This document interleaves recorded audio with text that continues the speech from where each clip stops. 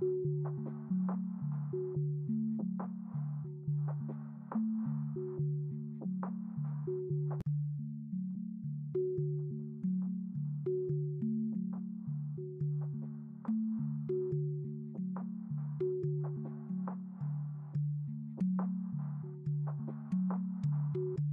to all of it. We got all of it. All of it. All of it. Our guest is Secretary Madeleine Albright, Bryan Cranston, Tank and the Bangas, Barry Jenkins, Celia Keenan Bolger, Aaron Lee Carr, Esperanza Spalding, Gideon Glick, Helen Oyeyemi, Fab Five Freddy, Gbenga Akinnagbe, Brene Brown, Tony Goldwyn, Thandie Newton, Jake Gyllenhaal. Welcome to all of it. Thank you so much for joining us. Hello. What a pleasure. Hi. This is so fun. I'll see you tomorrow. We're here every day, 12 to 2.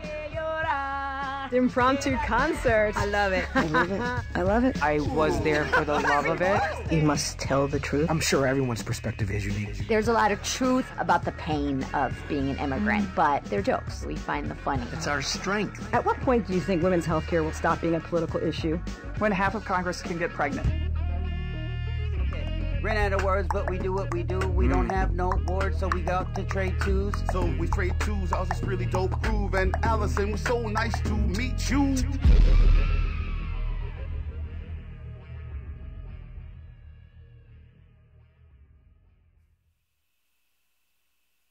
Hey, everybody, welcome to our March Get Lit with All of It book club event with Patricia Lockwood and her novel. No one is talking about this. If you've been coming to our virtual events, we've been doing them for about a past the past year. Welcome back. If you're new to our book club, welcome. We're so happy to have you. Let me tell you a little bit about myself. I'm Alison Stewart. I host all of it with Alison Stewart on WNYC live weekdays from 12 to 2. And we love books on our show. I always say our show is about music, art, everything. We're kind of culture curious, is how I put it. Uh, but we do love books. And we've had this book club for a little over the year. And it's been a tremendous amount of fun because not only do we talk to really smart, cool authors, we also, it's kind of more like a book party. And we always have music involved in our shows. And so tonight we are really excited because John Darnielle of Mountain Goats will be joining us, performing a couple of songs. There's a connection between him and Patricia. We'll get to that in a little bit. But, and we also want to tell you to stick around to the very end of the event because we're going to announce our April book. And the hint there is Nobel Prize. So stick around for that. But first, here's the big number 5,319 of you checked out a copy of No One is Talking About This, courtesy of our partners at the New York Public Library. So let's talk about this book. Patricia Lockwood and the protagonist of No One is Talking About This have a few, few things in common. Both of these women saw their careers take off when something they posted went viral. Patricia and our protagonist also shared some heartbreaking tragedy, losing a niece before her first birthday due to complications of Proteus syndrome. The two experiences form the backbone of her novel, and we are thrilled to have Patricia Lockwood with us. I'm allowed to call you Trisha, though, right? Yes, and that is actually perfect. That is just what I want. Excellent. Thank you so much for being with us. We really appreciate it. Yes, thank you so much for having me and for choosing this book. I don't think, well, maybe I've been chosen for a book club before. I was chosen for a friend's family book club, and she told me they were reading my book, and then she never said anything about it again. That was for Daddy, so not this one. Oh, I want to so, know more about that story. Please yeah, I'm like, there must us. be more. Well, they knew me when I was in high school, so there was definitely a history there, and uh, pro- private things were most likely discussed. Yeah, but this is this is a big one. This was very exciting to be chosen for this. I usually don't start book club interviews with the most obvious question, but I'm truly, truly curious about the title of the book. Yes. So it, this is sort of, um, it was kind of a little bit of a meme. It's something that people say a lot on Twitter, or as I call it in the book, the portal. There is a lot of times um, a tweet where someone is trying to point our attention to something that, in fact, everyone is talking about. Everybody knows what it is and has been saying a lot about it, actually. And they'll end the tweet with, like, no one is talking about this exclamation right. point. Um, and it's just kind of like a way to point to the importance of what you're talking about. It's in the same vein as things like thread and that sort of mm. thing, that, that kind of convention that we've always seen. But it felt sometimes these conventions or even these memes do have this, this broader meaning, um, this this sort of profundity, I think. And I felt that in this title. I called it that for a while, and then I tried to change it to People on the Sun, and we decided that we couldn't do that. It was just too. I think they really wanted me to go with something that the headline could be "Everyone is talking about this." So it was absolutely not an option that we would change it. Marketing was like, "There's no way we're keeping. Uh, no one is talking about this." Our narrator. She's always the narrator Yes. Did she ever have a name? She did actually, and she had a really very specific name. Uh, it was Rachel, because when I conceptualized the book very specifically, um, we were moving apartments and I was hiding from my husband and making him do all the work. Um, I was reading a book called Mrs. Caliban by Rachel Ingalls, and I sort of just saw the book, the beginning of it at least at that time. And because I'm not very imaginative, I thought, well, I'm just going to call this lady Rachel for now. and I remember actually when I read a long section of it at the British Museum, which is something that also happens in the book at the very end. Uh, when I sent the London Review of Books the script, they were like, Who's this woman, Rachel? You left a couple instances of this lady's name, Rachel, in here. And I was like, No, no, take that out. That's, it's just, we're not calling her that anymore. Did the other characters have names as well? No, uh, they never did, which I think spoke a little bit to kind of a self centered quality to it. You know, mm-hmm. when you go into the portal, you do just become like a, a pure eye really um, or, or pure experience i think of, of your own narrative. And you're just flowing down this space. You don't necessarily think about what things or people are called. I did have people say they were like the husband doesn't have a name. Someone walks into the mm-hmm. room. That person doesn't have a name. And it's like yeah you're you're just in the portal. That's what you're doing. It's like little ghosts coming in and out of the room when you're doing that thing our narrator. How much can we trust our narrator in this book? I think we can trust her quite a bit, actually. I think that she's probably um, unable to lie, maybe in the way that I am unable to lie. So there are things in the book that are fictional, but I, as a person, and I envision this for, for my narrator as well. Like if you ask me a direct question, I will tell you the absolute truth. Catholic hand to God. And I'll even give you a little extra information that probably you didn't even ask for. Like it's it's a really really bad trait to have. I went into a bar one time with a friend and we uh, had forgotten our IDs and we sat down at the bar and he asked us what we wanted and I looked at him and I was like neither of us have our IDs. You cannot serve us. And my friend was like, What? Come on. Like, you have no chill. What is wrong with you? What is your eh, problem? You so that's what I'm up. like. I just offered it up. I was like, I do not have my ID, and neither does she. Like, neither of us can have a drink. So that's that's kind of the the person we're talking about here. So there's the book, you know, it's, interesting. A friend of mine, I said, You have to read this book. It's really great and they were reading the first half and they're like, I really love this book. This is great. And then he said to me, the second half. I just got a tweet that said a, a, a text that said the second half. When you were writing the book,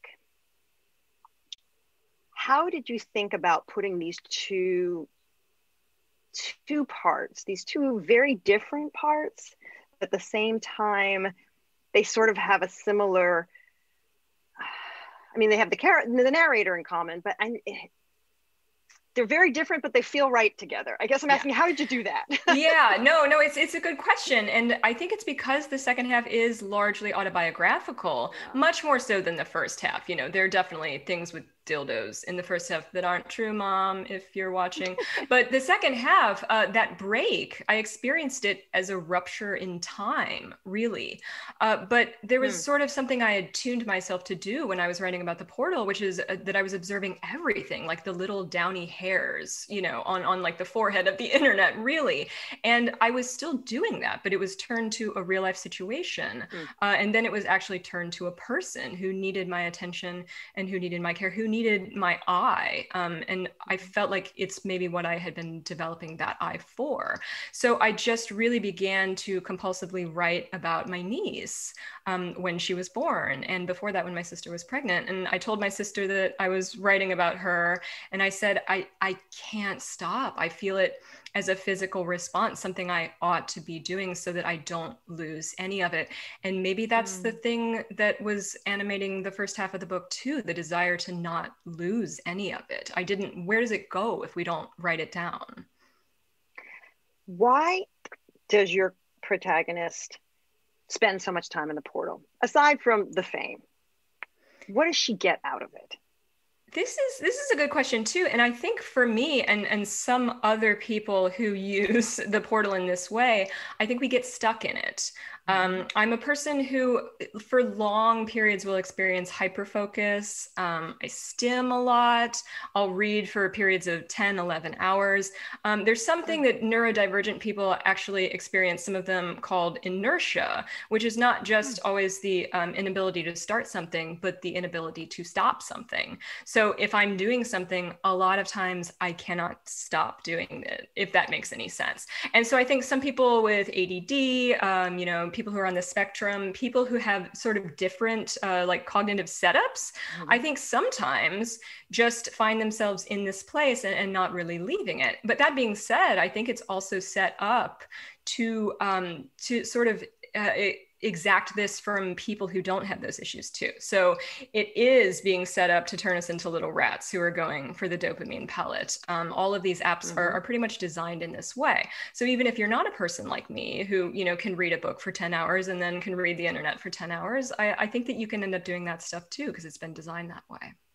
I remember interviewing somebody once and they said only Silicon Valley and drug dealers call the people call people users for a reason. It's really true. It's true. And now they're all kind of like looking nervously around, like, was mm-hmm. that us? Like, were we the guys who did this? Like, oh, for a while, you know, we were like these guys on on the the white horses riding into town to like reinvent buses and stuff. Like, what? You don't want that now? That's not something you want now, right? Is that no longer a good thing? Um, but yeah, I think I think that's what they were trying to do. It was it was mm-hmm. designs that would use this product, you know, as much as possible, like as many hours of, of the day as we could early on in the book, the narrator, she even questions why she spends so much time in the portal. And she says it had something to do, she knew, with child chained up in the yard. Her great grandmother, an imaginary invalid, had kept her firstborn son chained up to a stake in the front yard so she could always see what he was doing through the window. How is that story of abuse and trauma connected to why she spends so much time in the portal online. So this is this is autobiographical too. Um, mm. I was told that story as a child, and there are other things I think that happen in the first book, uh, the first half of the book. Her autistic cousin, for instance, that she's still seeing with a child's eyes. Maybe she's not necessarily thinking about them as abuse, mm. and she's sort of just presenting them, you know, as as this story I was told when I was a child that I haven't examined more deeply. But I just always had that image of my uncle Pete, who also became a priest, which is a very nice little detail. Um, just you know, sitting there, and he's chained up. I think because you know my great grandmother was worried about what what the world meant to him you know what what it, what it could represent to him in terms of danger. She wanted to be able to see him at all times but it also meant that he watched the world in a different way. Mm. you know hmm. if you were sitting on that patch of grass that had been granted to you it meant also that that he learned to watch in a different way. Let's talk a little bit about your writing style. Do the fragments come to you fully formed Yes, basically, yes. When mm-hmm. they're good, they come to me fully formed. If I find that I'm really, really overworking something, it probably needs to be chucked out. Um, I think it's a lot like poetry, where a good line will arrive in the way that a good joke will, and it's just absolutely like that. It's it's a physical response. It comes out of your mouth almost whole, um, and it doesn't seem like it could have been written any other way. So the ones that that come out that way are usually the ones that stay, and the ones that I'm just like sitting there with that lump of Play-Doh, just working it and working it while it gets worse and worse and worse. Those are usually the ones that you have to let them go. You know, you feel that you're pouring your sweat and your blood into those, but it's also like you're also working over them so hard sometimes because they're not working. So just let them go. Just let that ugly thing be. what was one that you worked over and you worked over and you just couldn't quite make it work in this particular book? well this is funny no i don't think this would work in any book but when i was revising the book i did have first active coronavirus um, and then like a little bit of a post-covid period where i was not mentally completely mm. on my game um, and i decided in this delirium that i needed to include this anecdote about uh, traveling the protagonist traveling with her sister to scotland where they peed together next to rob roy's grave and really nothing else happened. So they're peeing together uh, next to Rob Roy's grave, and you know the the narrator's husband, you know, asks her like why these people came to visit Rob Roy's grave. Like why did they bring him flowers, lay stones on on his headstone? Uh, like what exactly did Rob Roy do? And the narrator's like, he did everything. He did it all. He was Rob Roy and I thought at the time that that was the most profound thing that anyone had ever come up with. And I, weeks, I worked on this for weeks and I was obsessed with working in the peeing next to Rob Roy's grave thing. And then I was like, oh, wait, I have coronavirus. So let's not, we're just not going to ever talk about that again. There are a couple things in there, actually, there are like two more coronavirus things that are in the book, and mm-hmm. only I will ever know what they are. And I'll take it to my grave with me, to my Rob Roy grave fair. You shared the Rob Roy. I will not yeah. farther. Uh, you know, obviously, as a poet, you you love words, and little even the, with the fragments, not even with the fragments, are beautifully put together. And clearly, you've worked on them, and they even if they've come to you perfectly formed, you've figured out what order they should be in, and what rhythm they mm-hmm, should be in, and who mm-hmm. with what they should be paired with. Um, but it's interesting about words and language. We uh, it says on page sixty three. Why are we all writing like this now? Because a new kind of connection has to be made. And blink, synapse, little space between was the only way to make it, or because, and this was more frightening, it was the way the portal wrote. And then on page 70, was it better to resist the new language where it was stole, defanged, co opted, consumed, or was it better to text Thanksgiving titties be popping to all your friends on the fourth Thursday of November?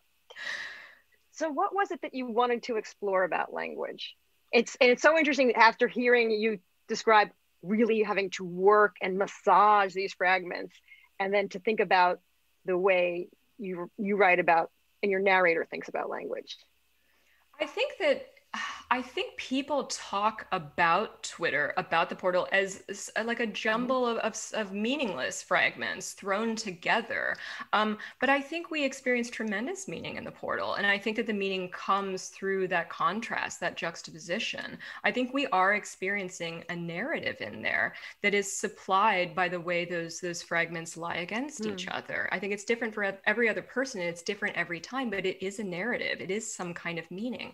And I knew do all the way back, like to when I started, that of course I wanted to write about the language. That is what we have been doing there. That's what we were doing there at the mm-hmm. very beginning when Twitter was good in 2011. In those days where it seemed like we were building mm-hmm. something something together and it was absolutely collaborative. And if we were starting to sound a bit like each other, it was in a in a, a way like we were a collective, like we were some sort of comedy team who was all working in tandem. And I liked that a lot because I think that's how language happens.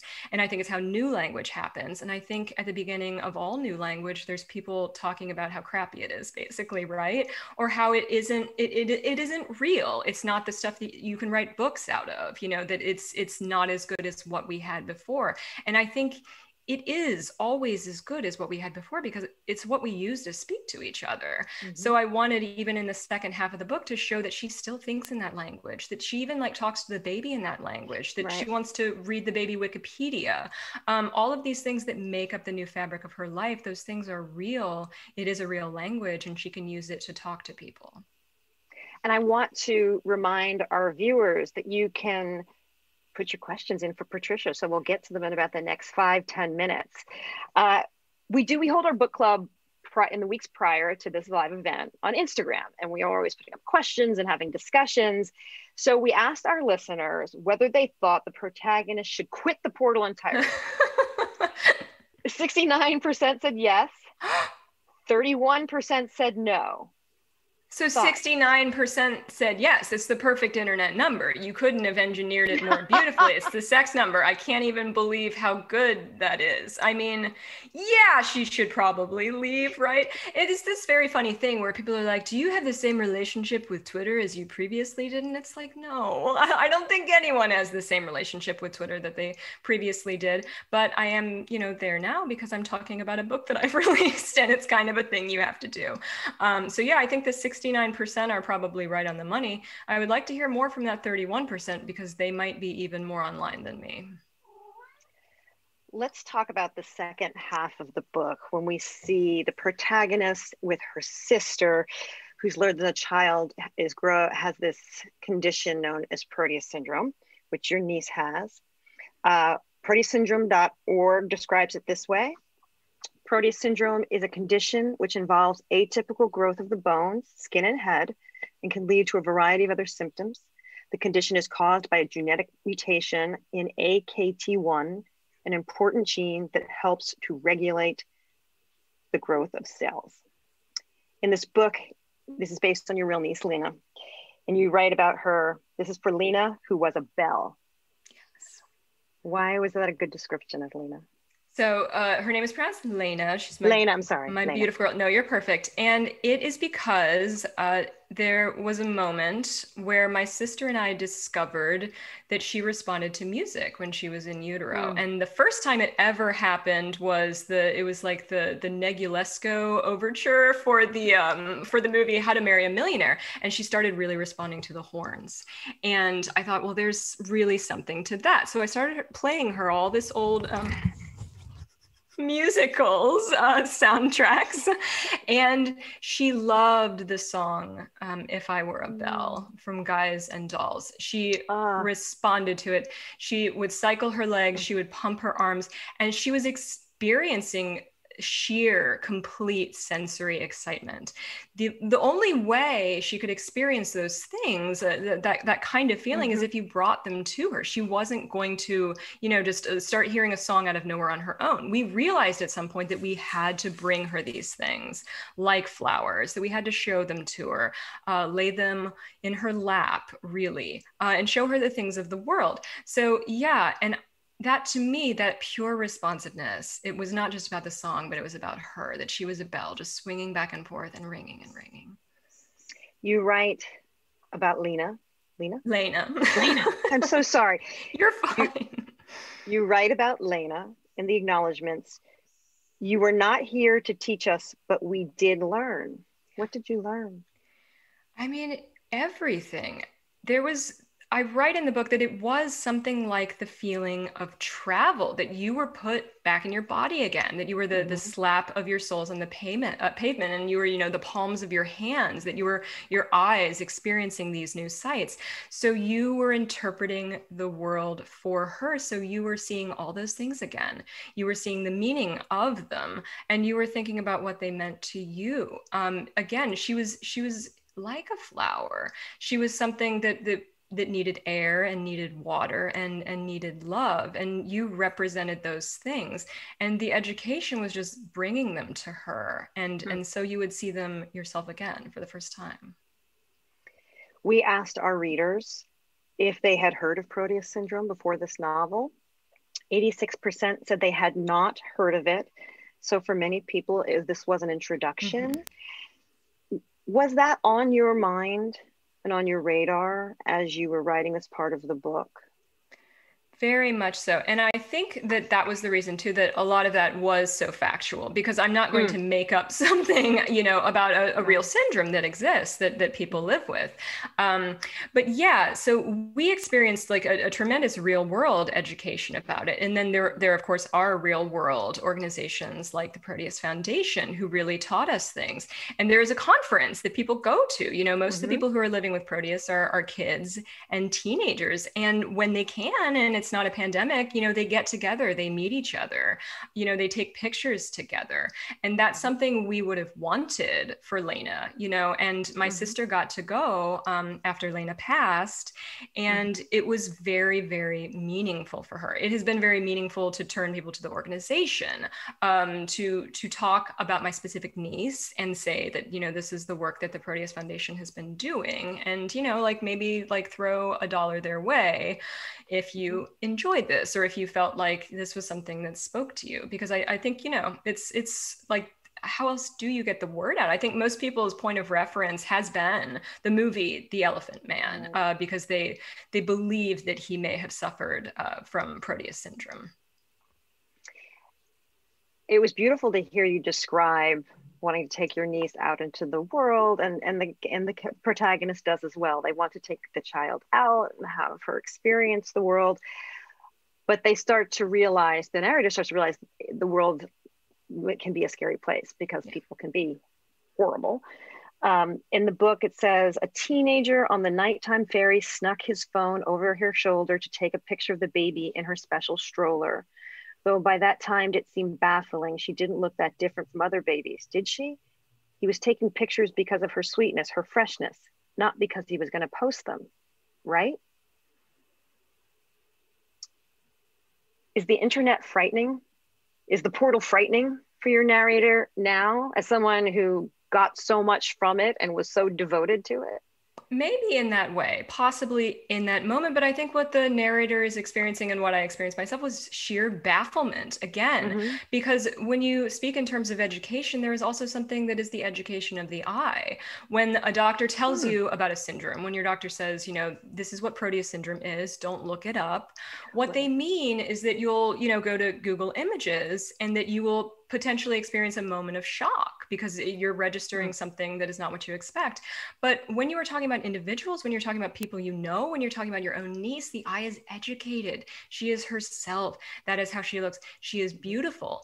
And I think it's so important later that what the narrator realizes too is that it, it wouldn't fright her, it wouldn't frighten her. Um, you know after the child is gone to put her picture in the portal because then people would see her that that is a hmm. sort of continuance of her. And that in fact what she wanted at that time just was for people to see her. So no i think that she isn't frightened. I think that again she sees the portal as a place where people could meet that child.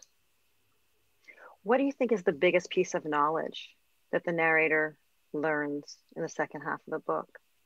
Uh, i think it is just there's a moment where the narrator her husband is calling to tell her about a news story about people um, you know enemies shooting a word into someone's brain through radio waves. And she's like oh my god like can they do it with any word? And he's like yeah any word. And she's like maybe something like that is what happened to me that someone just shot the word love into my heart that it is just that word this this this not even just her name but just the word love love love. And i thought actually of, of john um, who is going to play for us you know be, he he has he has that song. I sang some of his songs to lena. There are these mm-hmm. things you know like i, I knew john in the portal. Um, i knew his music separately from that and that's something that i brought to her you know? I have to bring up humor this yeah. is a hard let me take a hard right here uh, because there are you know it, it's a thoughtful book it's an emotional book i got emotional reading that one passage but it's also like snort funny yeah in parts snort. of the book yep. yeah. truly snort funny um, do you have to craft the laughs as well or or you are naturally funny person I think probably it's a little bit natural. Yeah. And it's almost too fast, actually. You're like, do you really think about what you say before it comes out of your mouth? Like, if it doesn't come out on the split second almost instantaneously, there's a part of Priestdaddy where I talk about this with my mom, and I tell her that it's like pun lightning, which is what strikes my mom. And she suddenly has the perfect pun for a situation. It happens that fast. It's just like this physical thing, a split second thing. Um, and I think that that's even harder to craft. You can work poetry into a line, but I don't think that you can really work the laugh in that way. Patricia, Trisha, Trisha, are you ready for some audience questions? I am ready for audience questions. Yes. All right. This is from Catherine. Hi. Hi, Catherine. I was surprised the dog twins comment went viral. Do you have theories about why? Thank you. so, your narrator, this is the tweet. It goes viral. Yeah, I like that question because it's a little bit like I don't buy that that went viral. Um, so yeah, that's actually never anything that I tweeted. I needed something that was plausibly a tweet that could go big. And tweets that go big are sometimes things that almost don't mean anything. So I was like, it needs to almost mean nothing, but have that special ring to it. Uh, and of course, one of the real jokes of the book is that she becomes famous just on the basis of this single tweet. You know, it's like she's traveling the world, she's going to Australia simply because of Canada dog between uh, be twins. I don't know if in real life, if I had tweeted it, if it would have gone viral in the same way as say Miette tweet because it did not have a cat pic attached to it or something like Mm-hmm. that. But I mean, that's for the future to decide. Really, we were the ones who were there. You might know, perhaps that you know that it rings false, but maybe people Mm-hmm. people of the future might not. Were you surprised when your piece, Rape Joke, this acclaimed poem essay? If anybody hasn't read it, you should read it. Were you surprised when it went viral? I don't really know that I had an idea that poems could go viral then. This was sort of before, you know, there's like a time of like Instagram and Twitter virality Mm-hmm. for this kind of thing. Um, it might have been one of the earlier examples of that. So, no, I had not thought about that at all. Um, it was very overwhelming. And it was also when I was living with my parents in the period depicted in Priestdaddy. So I Mm. think if, you know, if it hadn't been in a situation where I already had a lot else to deal with, that I probably would have been very laser focused on the situation. But as it was, I was like, you know what, I gotta, you know, go on a road trip with my mom now. So it's fine. But no, I, I, I did not expect it at all. Um, yeah. And it was really my first experience with that, that sort of not fame, but just something being ever present. Or now when I'm introduced, um, you know, at festivals and conferences and things, like I'll be introduced that way, which always throws you out of it a little bit because you think, oh, yeah, that is how people know me. Nancy asks, How do you feel about the monetization of personal information on the internet?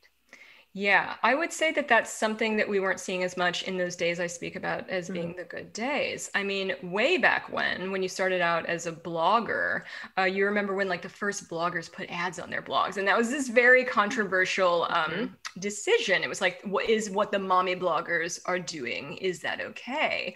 Um, but it may just be something to do with the vehicle. I mean, I have written a book about my niece. I've written a book about my family. So that's also a, a, form of monetization. You can say that something is a higher art than another thing, but yeah, it may just be a different vector. This is from Instagram. What about Ken? Uh, hi, hi, Patricia. Love the book. Just wanted to ask, what has your online routine been since you fish, finished the book, and do you look at your time spent differently now? I think that I do. Um, you would you would think maybe that quarantine would be the perfect time for me to absolutely make the final dive into my phone where I never come out on the other side. And they're like, "Where did she go? There's just a little grease spot on the ground here. Where's Trisha?" Uh, but no, because I got COVID, I didn't. I was like, wait a minute, whoa, I don't want to be here. That's not something I want to be doing. Um, and it was already starting to be true, you know, after after my niece passed away. And you do see, you know, it sounds like corny or it's, you know, it's very overused language, but you do see that certain things are more important. That you know, this it is important to be in your body sometimes, doing the necessary and the crucial things. But for me, in terms of you know the daily routine of the internet, the only thing is that I just can't look at Twitter first thing. Um, especially so i would say when trump was in office but like even now you can't look at it first thing because it, it takes over your brain for the day. It sets the topics mm-hmm. and that's what you're going to be thinking about. And it's going to be a thing where it's like do i have to i was like trying to figure out today who chet hanks was and i was like you know climbing backward through the and i'm like who is this guy? Does he even look like tom hanks? What's going on with him? What's a white boy summer? I don't understand any of this. So i think that sometimes people just stay in the portal because like if you're out too long you miss that stuff. And then you have to scramble for information when you sign back in.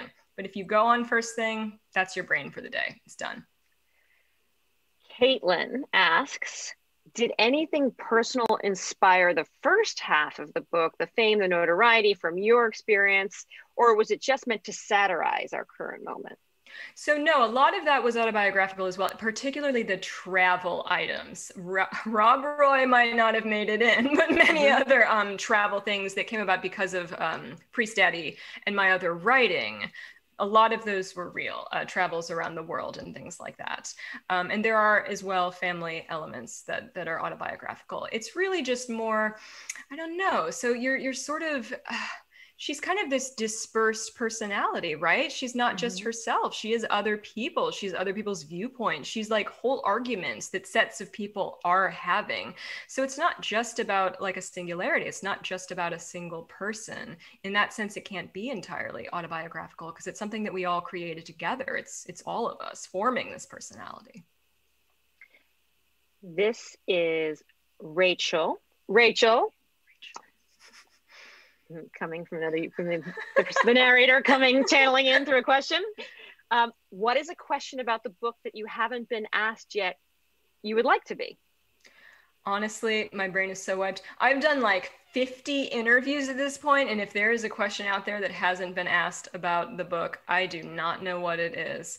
Um, so sadly, no. If I think of one later, I'll post it on Twitter. But I, I do feel like, and the questions have been really good. I feel like the conversations I've had about the book have been very good. But yeah, I don't like to borrow trouble and think of mm-hmm. questions mm-hmm. that people can ask me later that I myself suggested. So have have has it been hard at all to talk about your niece? No, that has been wonderful. I think it was the fact that the promotional push started like right around uh, January 6th. So I was talking about all of this at basically the most stressful, um, uh, like hair falling out mm. time that you could possibly think of. But there was, you know, a moment in the first couple of interviews um, where I was kind of feeling out my way. And like I told you before, I pathologically tell the truth. And I thought I can't maintain some fiction where I don't say which things are true or which things really mm-hmm. happened. I wanted to talk about what really happened. Um, I did an interview with the New York Times and we just got so stuck. We were just looking at each other, uh, trying to have this real conversation. Mm-hmm.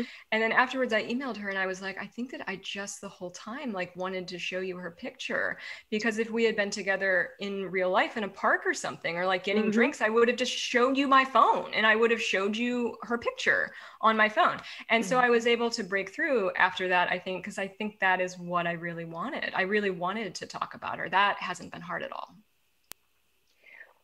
What's next for you? What are you working on it's funny. I did in these early um, uh, insurrection interviews. I like lightly mentioned that I was working on some short stories, and then it came out in all of these uh, like pieces about me that I was working on a collection of short stories. So.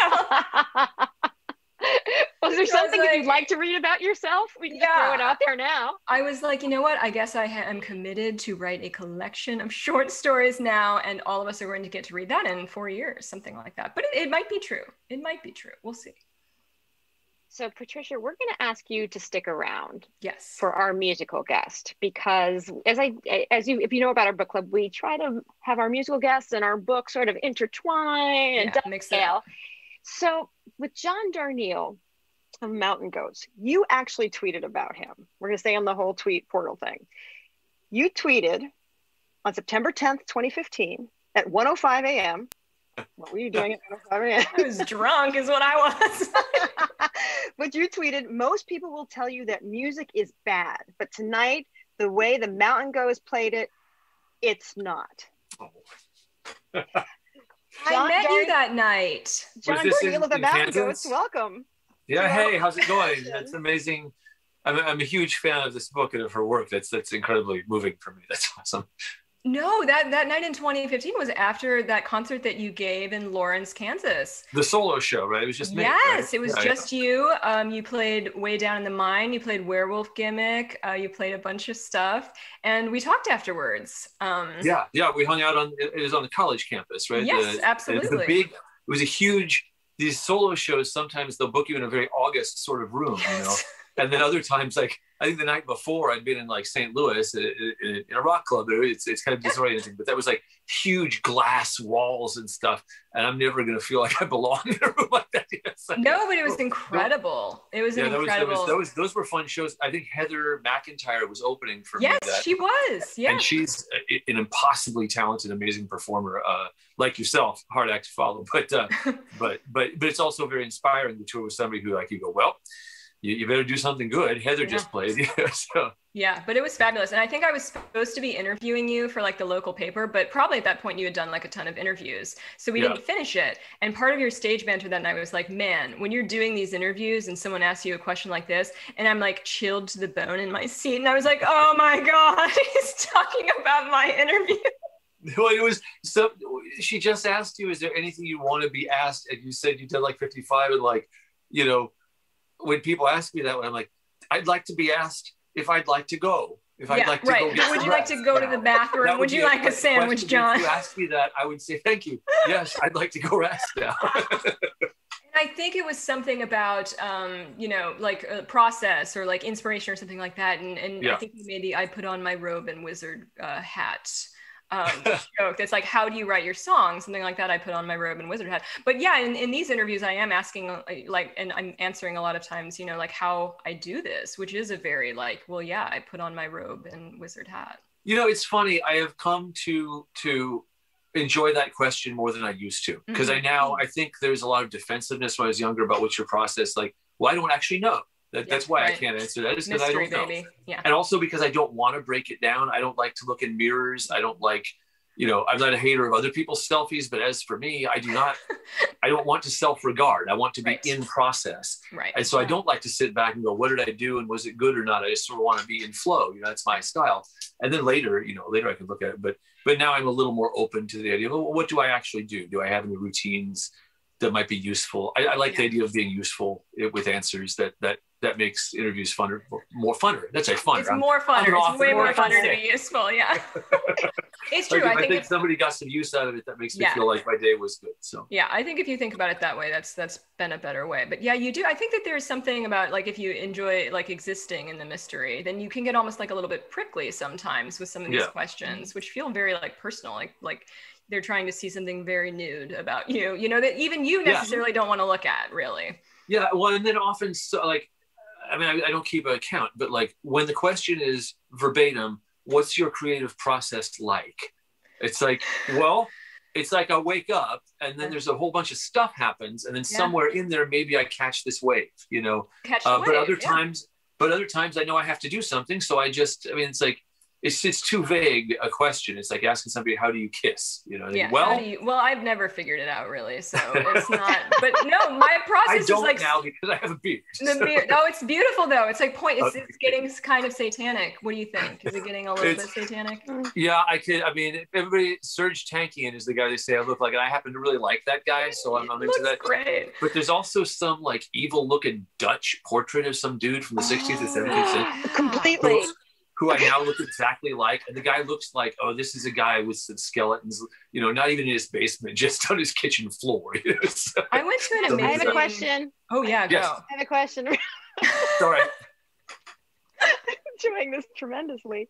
And now I know what questions not to ask.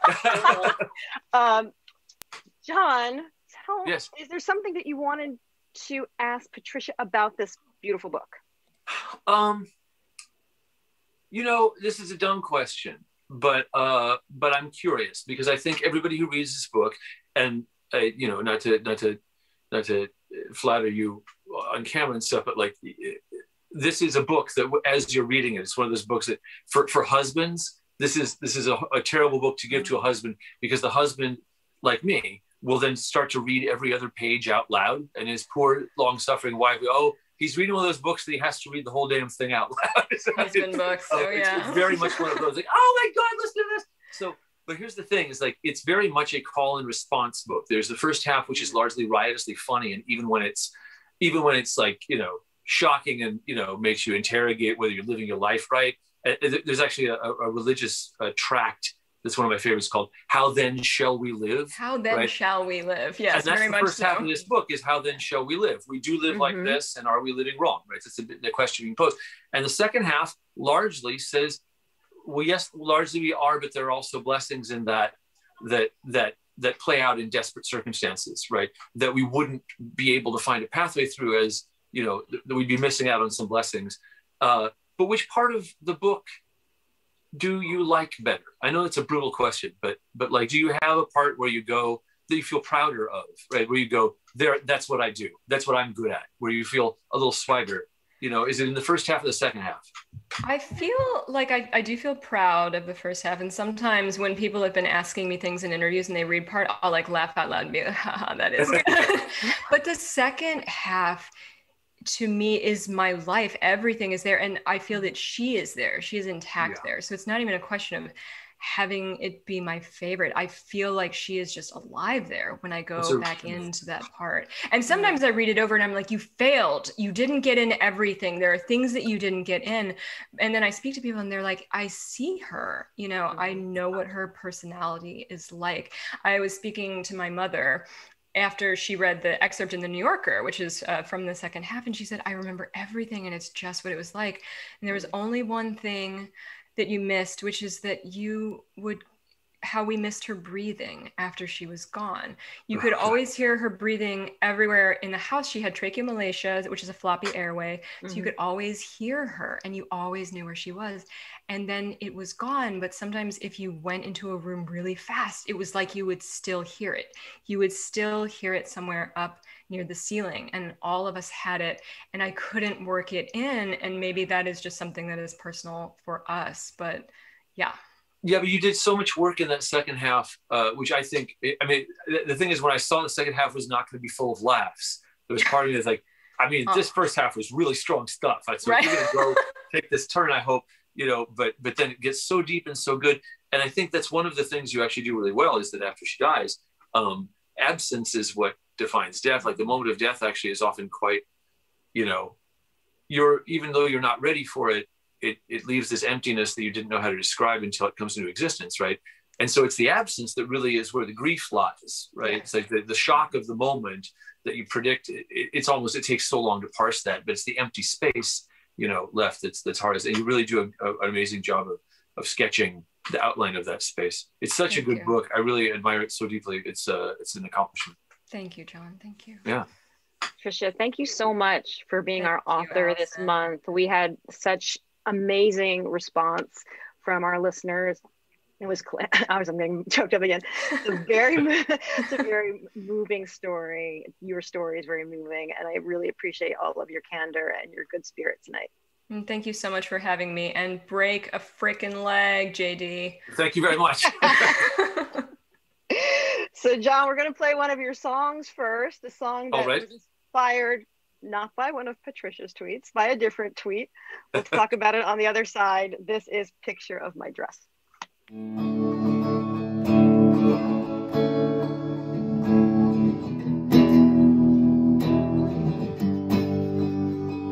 Here at a truck stop in New Mexico, just before dawn, somebody's grandma behind the wheel of a big rig, pulling in with her headlights on. We smoke a cigarette as the sunrise runs riot.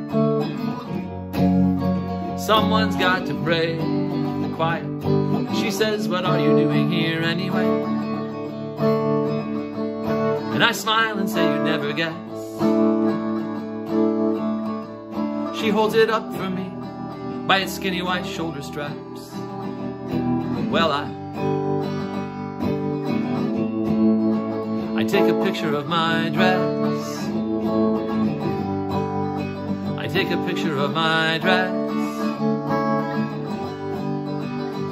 I'm here in the bathroom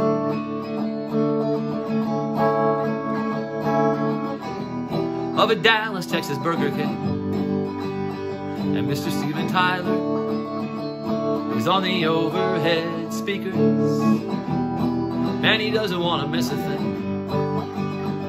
Back there at the counter, blending in with the lunchtime crowd. Try not to laugh out loud. I eat half my crispy chicken club. I get extra mayonnaise, it's a mess. I take the other half back to the parking lot with me. Pop the trunk. And take a picture of my dress. I take a picture of my dress. It still looks good. I only wore it once.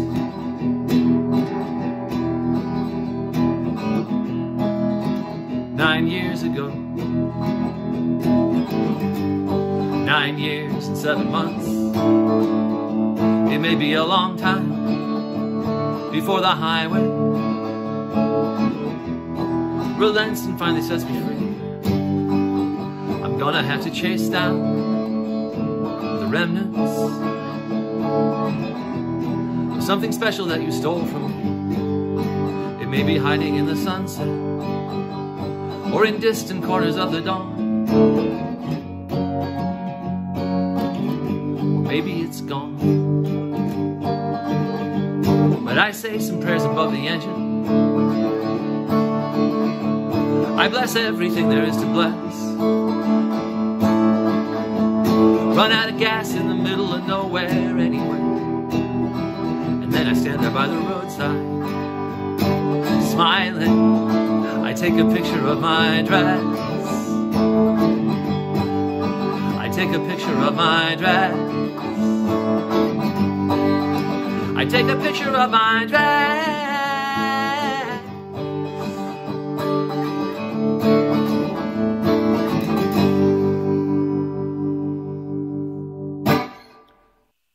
and John Darnielle of Mountain Goats is still with us. So we were actually just having a great a great conversation about what we like to read.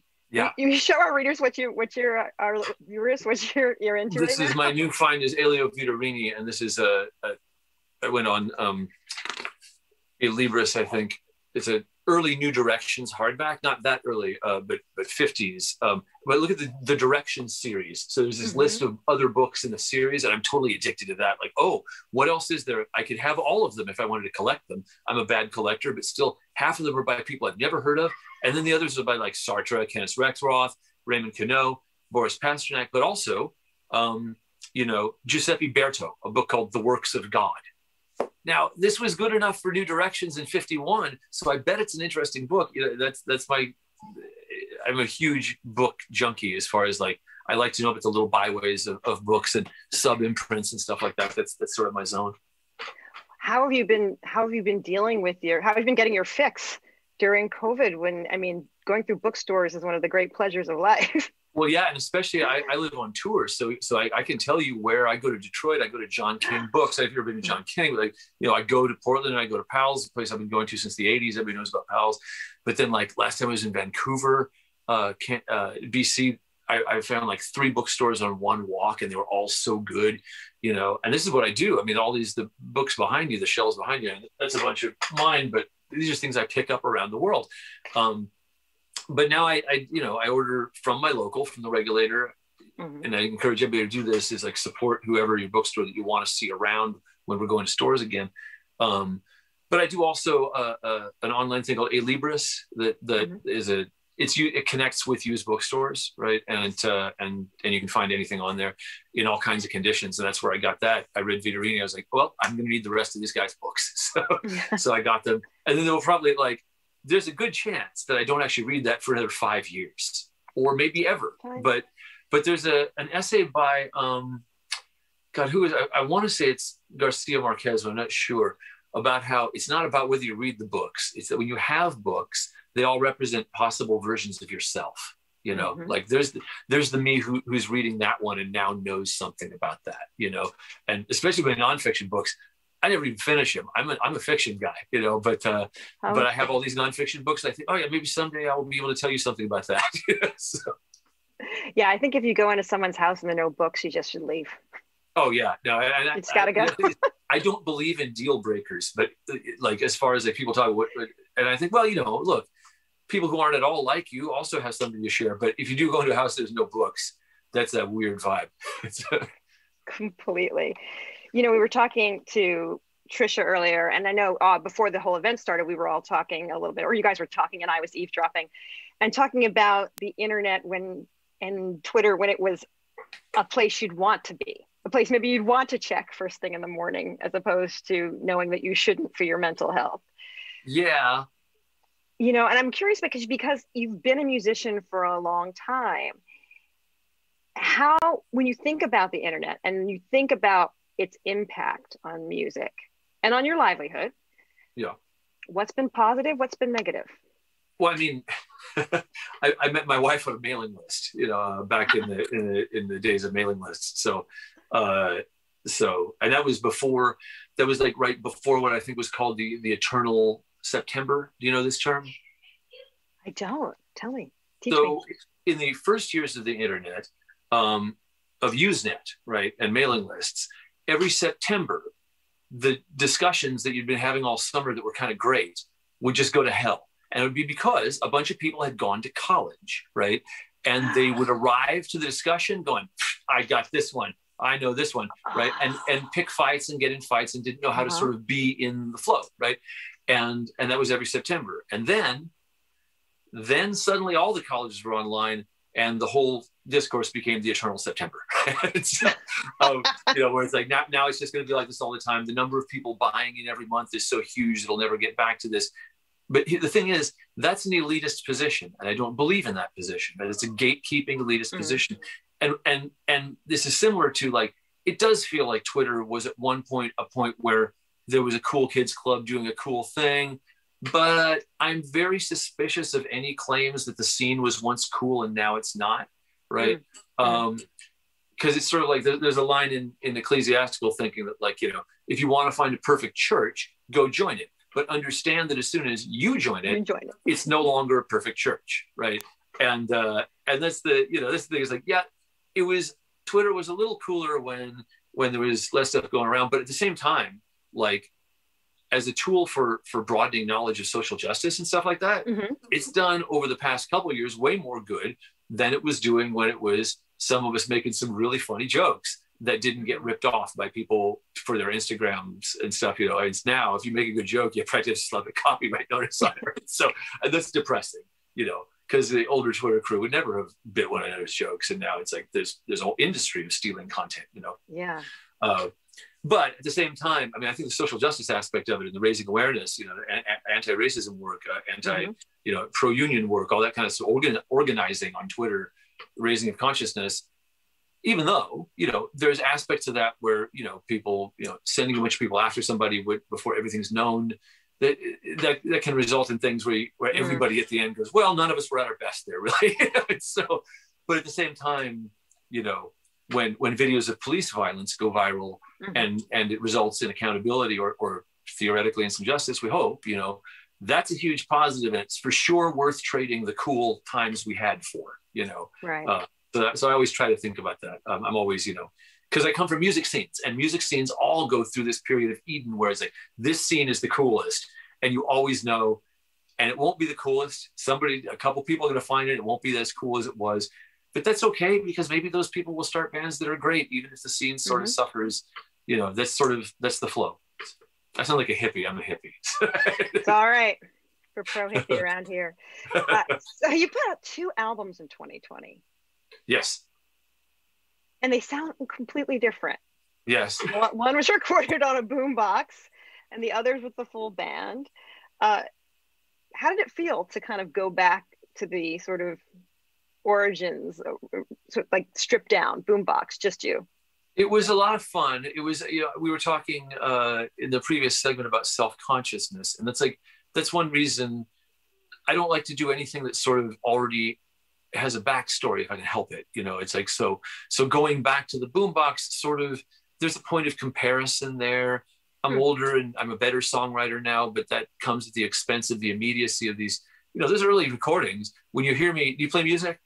Yeah, a little bit. Yeah. Okay, so you know what the four is, going from the tonic to the 4 Mhm. Yep. In, those, in those early recordings, when I go to the four, I have I have Columbus syndrome. I'm like, look what I discovered. it's like I am the first person alive to play this G after a D. Am I amazing or what? You know, and that was my vibe. Then every time I would go to the four, I feel like I found God. You know, well, I mean, Oh, I God. still feel that way about the four, but it's not that feeling of like, what have I done? I can do it too. I can play this thing. You know, and so so sooner or later, once you once you you trade you trade the joy of your own personal discovery for expertise and that's that's a common story right and it's a story that it's why a lot of bands first albums are the best ones because that's when everybody Mhm. can't believe they're doing the thing you know uh, but uh, but so that's one reason i didn't go back for a long time but when we got home from recording and it was clear to me that we wouldn't be going out and we plan i mean this is our day job right? I there, there's seven of us who draw a paycheck from this and i feel a profound sense of responsibility to them. I'm i'm you know i'm i don't like the not the boss but i'm i'm the i'm the masthead. I'm, I'm, I'm the, the face at the front of the ship you know uh, for better or worse. And um, Mhm. and so i felt like you know i got to do something that gets us a little bit of money you know before we go back out on the road in three months that was my thinking right? so, so, um, well, it didn't work out that way, but but uh, but so question. yeah, I First, had, would you, would stuff- you tell? I want you to. I realize I didn't say the names of the albums. Will you say them for our, our viewers? So oh yeah, so the, right now. I want to. I want to hear these. What are they? the one that we were recording uh, before we came home was called "Getting Into Knives." Um, although at the time it was called "As Many Candles as Possible," and then it turned out that Jane Siberry had an album called "All the Candles in the World," and I was like, okay, well, I can't call it that. Then even though I, I kept the song title, but I was like, so I, then I named it for "Getting Into Knives," which it turned to me as a much better album title anyway. So it's a Mhm. fortuitous accident there. Um, but uh, uh, but so yeah, so when I got home, uh, I got out my old boombox. For people who don't know my work uh, or our work, but the Mountain Goats began when I lived in employee housing at Metropolitan State Hospital, and I was uh, I had a, a big court case to pay off, but I was still making a decent living for the first time in my life, and I didn't have a TV. Uh, uh, it was not a decent living to buy a TV, but it was decent living to buy a boombox. So I started just recording these. I, wrote- I wrote poetry at the time. I started setting my poems to very simple chord progressions and singing them out loud. And uh, and I discovered the immediacy of recording the boombox and the sound of the tape was really pleasing to me. And that's how, over time, that snowballs into it becoming my job. There are people for whom those early recordings have a charm and a depth and a power that can't really be matched once it becomes a more uh, complex, a more tailored sort of thing. Because they're all those are all recorded within seconds of having been written, or they're recorded during the writing. Right? It's like I got an idea, most of it's there. Maybe I'll ad lib the last line, you know, and uh, and you know, I was really into. That was also the days that the golden days of lyricism and, and, and rap was fairly new. And we were buying 12 inch singles. I was transcribing. I was the nerdiest thing you're ever going to hear about. I was like, I would buy an NWA or an Eric B and Rakim 12 inch and transcribe with my typewriter the lyrics to see how they were doing. Because for poets, that was the time, man. I was like, those were very, those were writers, you know, really, you know, and, and it was it was incredibly inspiring to me because I wanted to study poetry in college. And it's like to me, these guys were playing with the sorts of rhythms that I was interested in, with you know, long 14 beat lines and stuff. And so I'd transcribe those and I would try to write my own poems and then set them these simple tunes, right? And uh, and then that went away over time. We became a band. We started working in studios. And then when I got home, I had an idea for a new album. There was no reason to really do anything but get started on it. So I started tracking to the boombox. And I wrote one on a Monday, and then the next day I wrote another one. And I thought, well, and this is how my brain works. I thought, well, what if I just keep doing this until I have 10? I'll do one a day. so, so That's orderly. it's like if you're in the zone, you can do that. You know, it's like I, I do think for me, not for everybody maybe, but for me, the more I work, the more I'm liable to work well. Mm. Eventually, it takes a pretty heavy toll on my mental health and on other people's ability to tolerate me, right? Because you get into this writing, Yeah. creating at any level is narcissism to some extent. and it doesn't tend to make good people of us, right? We have to, most mm-hmm. artists, I think, have to work if they want to be good people to incorporate that goodness part of themselves into the part that's standing here going, you know, I mean, if you want to be on a microphone anywhere, there's some about you that says, hey, I'm cool. I have something to say. Uh, that even people who know who have no interest in my success can benefit from. Right? It's like there's a degree of ego in there, right? And so I'm always trying to grapple with that. Um, but uh, but when you get into that zone, for me anyway, the more I work, the more I'm going to produce. If I do it for two or three weeks, my brain gets to boiling and I won't be able to sleep. And uh, uh, I've never really chased it longer than that because it gets really unhealthy inside there. But uh, but it feels good at the time. I mean, I think it's it's a low level mania. I think. So. You've I'm written... sorry that my sentences are so long. I'm very sorry. I, I'm enjoying it. I you I do want to get two more things in before we play your song. You wrote a novel called The Wolf in the White Van. Is that right?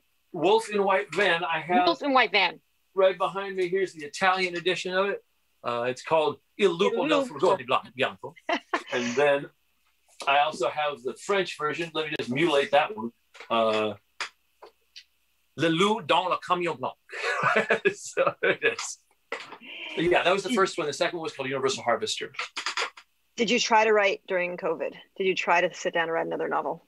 Oh, I mean, I've been working on a novel for the past five or six years. So yeah, I've, I've been. It made it so much harder because I have two children.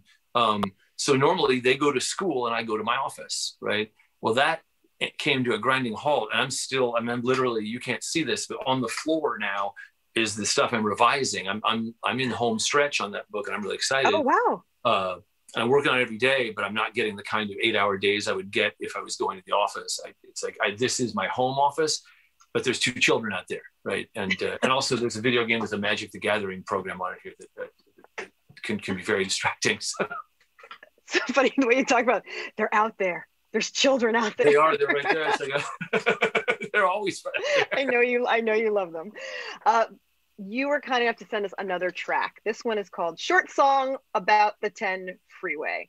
Old is that song. old song? Is that pretty much self-explanatory? So I mean, this is I was talking about the the the the how those old songs were about urgency, right? Just the urgency of the writing. I mean, it's like one thing that I liked, and again, it's like I was a at, by the time I record this, I'm studying English at Pitzer, and I'm deep in theory. I'm thinking about what is writing, all these kinds of things. You know, what you know, what uh, why does one write? All these questions you sort of stop asking yourself once it's your gig, and you just do it. But I was like, I I wanted a song to bear evidence of its own creation, right? I wanted you to be able to hear how it felt to be writing it, right? That is not really in literature. That's usually not going to be good, but it, it, it in song it can get there, right? So you can you can do something. I mean, obviously, in improvisational jazz, that's what it's about. It's like you do something and it's never been done before, and it will never be done the same way again. But the people who are in that room get to hear it. And I had an idea of being able to do that in this sort of cross section of poetry and music that I was working. Um, I mean, the, the lyric is quite simple, but uh, but I feel like when it gets to the resolve, uh, it goes to this to this G, and for me, that G was huge at the time. It's only like a minute and a half long. So it is. John Darnielle, thank you for being with us tonight. Oh, it's a pleasure. I, it's it's it's a it's a real honor uh, to be with you. You know, I, I I I can't say I grew up with you, but like watching uh, you do the '92 election and stuff like that is like I, I know your work. You put in really good work at the you know, and uh, it's an honor to be with you. Thank you. That's so kind. Let's take a listen to short song about the 10 freeway.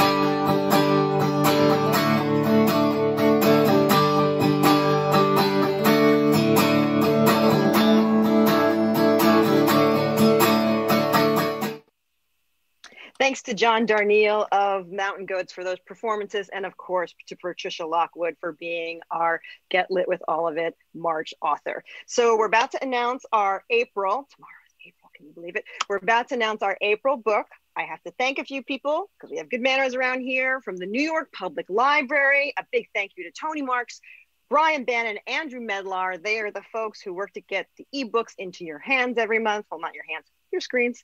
From the Greene Space, shout out to Jennifer, Cam, Ricardo, and David. They make this look beautiful each and every month. And from Team All of It, the team that produces Get Lit, Megan Ryan, Jordan Loft, and Simon Close. They bring it to you all month long and they work really hard on these virtual events. Now, to our April author.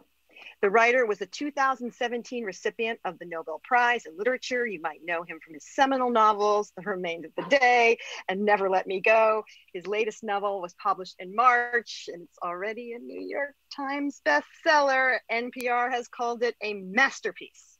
We're going to be reading Clara and the Sun by Kazuo Ishiguro. The story follows Clara, an artificial friend waiting patiently in the shop to be purchased all the while taking in information about the humans around her. Finally, Clara is selected by a teenager named Josie and taken home to live with her and her mother. It's there that Clara learns Josie is ill and that Josie's mother might have another purpose for Clara's role in the family. The Guardian calls Clara and the Sun brilliant and a masterpiece that explores what it means to be not quite human, drawing its power from the darkest shadows of the uncanny valley. New Yorkers, head to wnyc.org slash getlit to find out how to borrow an e-copy from the New York Public Library. And then mark your calendars for 6 p.m. It's different. Our usual time is 7 p.m. But 6 p.m. on Monday, April 26th, this will be our virtual event with Kazuo Ishiguro. Until then, follow us on Instagram at all of it WNYC. Happy reading, and I'll see you next time.